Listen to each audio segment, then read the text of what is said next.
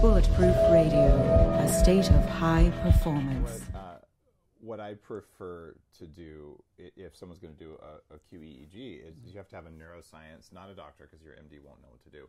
Look at it and go, hmm, here's what's going on, and, and it's it's a full-on exploration of the brain if you want to get Right. into it. Otherwise, just getting it on paper doesn't matter.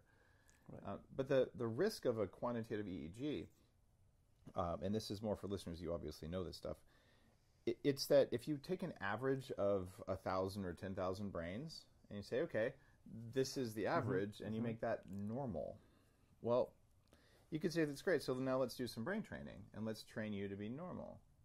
Except normal, another word for that is average, right? And if you're even one percent above average, you're abnormal. So half the population is going to get made dumber by that kind of training, and half is going to be made better. So the A students become C students, the F students become C students, and that seems like a horrible world. so cues are useful, but on an individual basis, like, do you want to look like everyone? It, it, it's like that. Uh, that song they made a while back, like, like looking at what the average of people like in music, and, and they made a song no one could listen to that should have been the most popular song ever.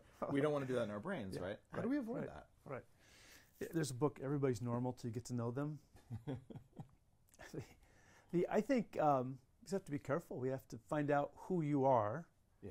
and um, people have to learn to work with their own brains. Within, we have a, uh, a situation on in uh, our company. We have this Theta Beta Anonymous. Theta Beta is, but it's not anonymous because we know everybody's brains. You're- Um, You're saying the people who work at the company yeah, always looking it's kind of a joke. Yeah. Yeah, we might But- do some of that at 40 Years of Zen too, which, which Yeah, is a yeah, diff- like, very different kind of company. Like, ooh, look WAVi's an equipment ooh. manufacturer, Yeah. just to be super clear. Yeah. Yeah, yeah. Um, but we, we uh, so theta beta is the famous ADHD marker. But at some point, uh, just people relate to that theta beta marker. Say, well, I identify as ADHD, but not as a disorder.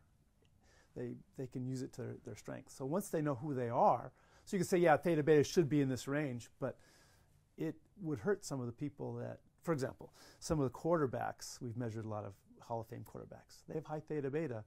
They have to see everything at once. If they focus one direction, they get killed. Right. Um, however, the, we've also measured some uh, uh, Super Bowl winning defensive backs. They have to focus. So just different brain. Is that a disorder? Is that if they all were normal, like you said, the quarterback would get killed. Interesting. yeah. So even So- different positions on the field have different brains. It makes Right. so much we, sense. And we got to doesn't it? appreciate the differences. And if it becomes a disorder, then yeah, do something about it. But first step is to know thyself. The, I, I've had ADHD uh, for my whole life, and probably don't have nearly as much of it now, uh, just because you know you can tune the brain. But it is an absolute superpower. It means you only pay attention to stuff you care about, Mm-hmm. right? And as a researcher, for instance, and th- there are, there's no shortage of ADHD in physics and chemistry and hard sciences. Like Mm-hmm. it's it's abundantly common in engineering. Um, so it, it's good because you just filter out all the stuff that's not the most interesting, and it's bad because you might oh, have three interesting things and you bounce around, and, and so. But to say it's a disorder, a lot of that is because people are taught, well, you're not normal, therefore you're bad, versus you're not normal, right. therefore you have a potential superpower if you amplify that.